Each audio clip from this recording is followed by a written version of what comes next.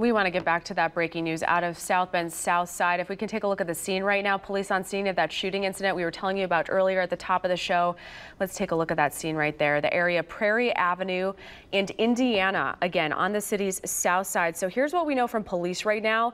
The shooting incident happened around 930 near the intersection of Prairie Avenue and Indiana Avenue. There's no word on a suspect, but the scene is secure.